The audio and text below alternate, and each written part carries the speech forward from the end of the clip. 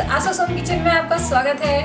आज मैं बच्चों के लिए बहुत ही मज़ेदार पराठे की रेसिपी लेके आई हूँ, जो बनेगा शकरकंद और बादाम से, जो कि उनको अच्छा लगेगा, खाने में यम्मी भी लगेगा और सबसे खास बात, ये बनाने में बहुत आसान है। तो मेरी ये रेसिपी अगर पसंद आए तो प्लीज़ लाइक कर दीजिएगा शेयर करना ना भूलिएगा और कमेंट्स करके मुझे ज़रूर बताइएगा कि आपको ये शकरकंद और बादाम का पराठा कैसा लगा। मेरे चैनल पे नए आए हैं तो सब्सक्राइब करना ना भूलें और बेल आइकन को ज़रूर हिट कर दें, ताकि आपको मेरे वीडियोस के लेटेस्ट नोटिफिकेशन मिलते रहें, आप और हम यूँ ही जुड़े रहें। तो चलिए, जल्दी से देख लेते हैं शकरकंद और बादाम का ये मज़ेदार पराठा।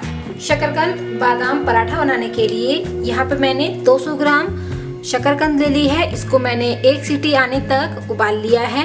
फिर इसको मैंने छील के ऐसे कट में ले लिया है।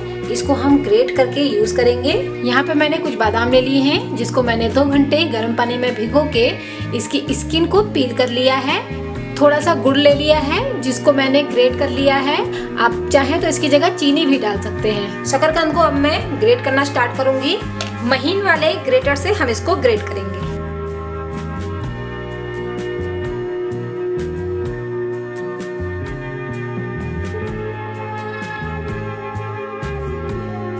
अब इसी ग्रेट करे हुए शकरकंद में हम उसी ग्रेटर से जो महीन वाला है, उसी से ये बादाम भी इसी में ग्रेट कर लेंगे।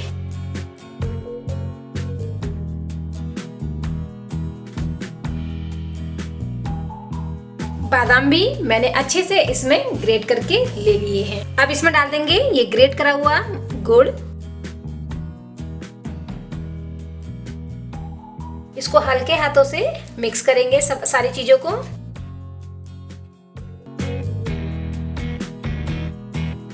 स्टफिंग बनके तैयार हो गई है। इसको हम जब तक हम आटा गूंदेंगे, तब तक हम इसको फ्रिज में रख देंगे, ताकि ये लूज ना हो जाए। यहाँ पे मैंने मिक्सिंग बाउल ले लिया है। अब इसमें डाल देंगे एक कप नॉर्मल जो आटा हम अपने घर में यूज़ करते हैं, वो डाल देंगे। एक बड़ा चम्मच कॉर्नफ्लोर मतलब मकई का आटा जो होता है कॉर्न स्टार्च काली मिर्च क्रश करी हुई, चार से पाँच। आधी चम्मच हरी वाली सौंफ जो छोटी वाली होती है, इसको मैंने हल्का सा दरदरा कूट लिया है। इनको पहले अच्छे से मिला लेंगे।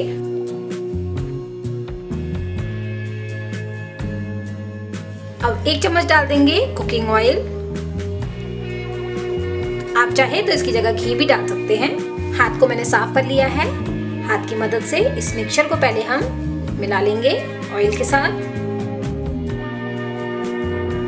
अब इसमें थोड़ा थोड़ा पानी डाल के एक सेमी डो गूंदेंगे, ना ज़्यादा टाइट ना ही ज़्यादा लूज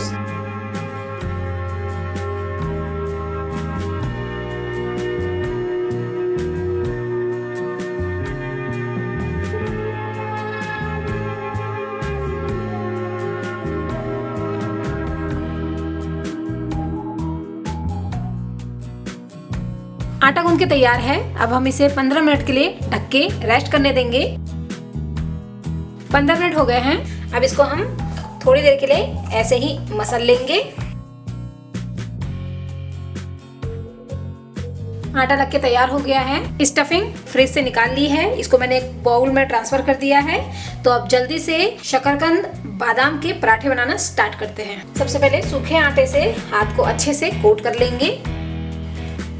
स्मॉल पार्ट तोड़ेंगे आटे से और इसकी लोई बनाएँगे।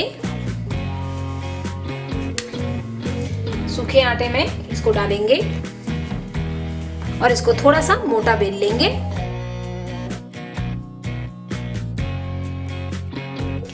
इतना मोटा हमें से बेलना है। अब इसमें एक चम्मच में स्टफिंग लेके भर देंगे।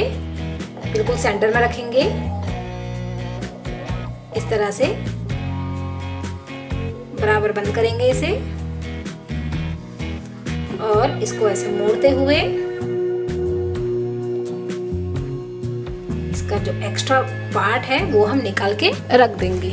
अब इसको हल्के से दबाएँगे। सूखे आटे में कोट करेंगे। तो सबसे पहले ऐसे फ्लैटर कर देना चाहिए, जिससे कि ये बराबर फैल जाती है।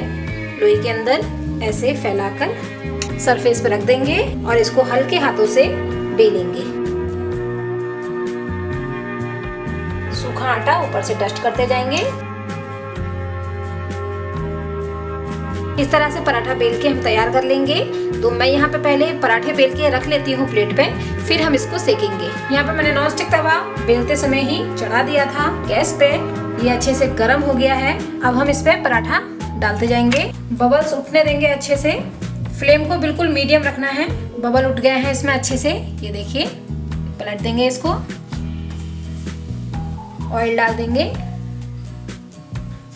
और इसको इस तरह से फैला देंगे।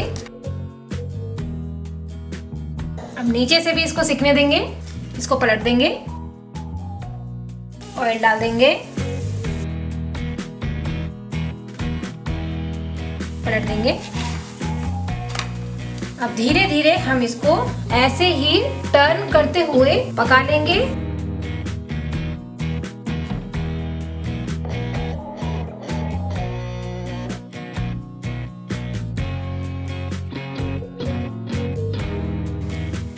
बहुत टेस्टी है ये। ये हो गया है। इसको एक प्लेट पर उतार लेंगे। नीचे तैयार है हमारे शकरकंद, बादाम के पराठे। इन सर्दियों में आप अपने बच्चों को ये पराठे बना के ज़रूर खिलाएँ। उनको ये बहुत अच्छे लगेंगे और वो इसको पसंद भी करेंगे। मेरी ये रेसिपी कैसी लगी? कमेंट्स करके भी मुझे ज़रूर बताएँ। मैं आशु शुक्ला, मिलती हूँ आपसे एक और नई रेसिपी के साथ। तब तक के लिए बाय बाय